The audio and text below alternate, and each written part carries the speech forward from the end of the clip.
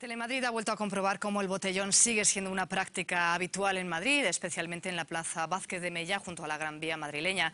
Esta mañana los operarios de la limpieza han tenido que volver a emplearse a fondo para retirar los restos de otro fin de semana de copas en la calle. Centro de Madrid, madrugada del sábado al domingo.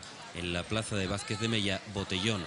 Grupos de jóvenes ajenos a la prohibición de beber alcohol en la vía pública, vigente desde el 2002. A partir de las ocho y media ya empieza a haber gente. Beben en escaleras, sobre el suelo o en portales. Los clientes de las terrazas circundantes observan atónitos una situación que se repite cada fin de semana, generando problemas de ruido, inseguridad y limpieza. Robos, ya, eso ya no lo vamos a contar, porque claro, los robos ya eh, es el, imperio del, del ladrón, no el imperio de la ley.